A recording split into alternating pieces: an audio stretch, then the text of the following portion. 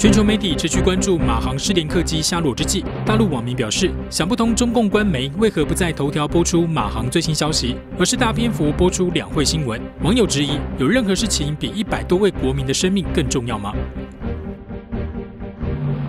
陕西西安市的宋庆龄基金会风韵幼儿园近日爆出惊人丑闻，幼儿园违规给孩子长期服用名为病毒灵的处方药，而原因可能是为了通过提高孩子的出勤率来保证伙食费数额。中共当局培训的首批网络舆情管理师即将在为期一周的培训跟通过标准考试后毕业。培训内容包括了应对公共事件、封禁历史等敏感话题。评论指出，网络舆情分析师的实质就是五毛公开化。中国大陆经济成长减速，上海的大学毕业生今年就业情势难以乐观。多所大学的校园征才讯息显示，金融业跟中小民营企业职缺缩水。新唐人亚的电视整理报道。